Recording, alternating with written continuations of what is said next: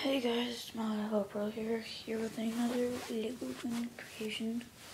This time, it's not a full-size one, it is a mini one. Oh yeah, one quick thing, sorry about um the lack of videos in the past couple of, like, couple of days, like a week. Um, I will try to post at least one more video today, another Lego creation that I think you guys are really gonna like.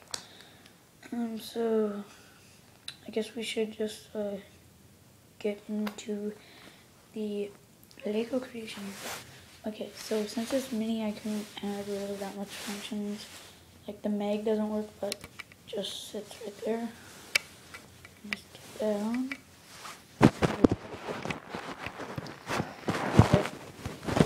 So this is the MP5K. I think I said that before. And there's just, if you notice on the MP5K, there's just this little thing right here where the bullet comes out the um, barrel. And that right there. There's that kind of little stop at the end that I added. And the handle is kind of tiny, but whatever.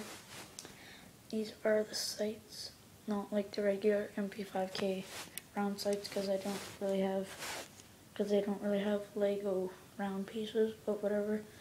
And really the only working function on this is the safety.